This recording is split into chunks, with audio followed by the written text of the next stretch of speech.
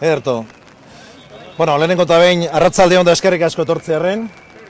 Gaur ondo dakizuen moduan e, epaia atera da, eta gure eskuk egiten duen irakurketa da epai honek demokraziaren kontra zuzen zuzenean jotzen duela. Ate bat zabaldu da oinarrizko eskubideak kriminalizatzeko, eta guk egoera horren aurrean gaurkoan aurreneko elkarretaratzeak deitu ditugu herri zerri, berreun herritik gorak bat egin dute gaurko deialdi honekin, eta ez bakarrik gure eskuko kide direnak eta bai ostera, hainbat eta hainbat euskal herritar, sententzia hori esegokitzat jotzen dutenak.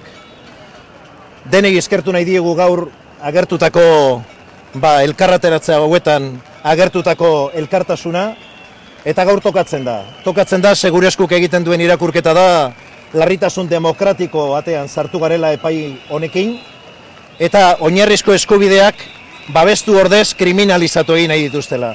Baina ez soilik Katalunian, Euskal Herrian ere bai.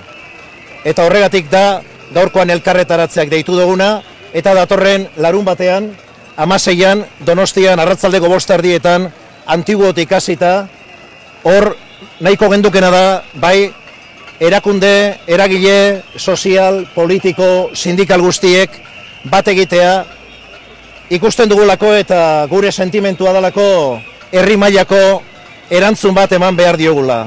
Eta lanketa hori egiten ari gara, batzuekin eta besteekin, sukalde lan aurrera eramaten, amaseiko e, manifestazio hori hain zuzen, ba jendetsua eta herri moduan Euskal Herriak eskaini dezakeen erantzun bat izan dadin.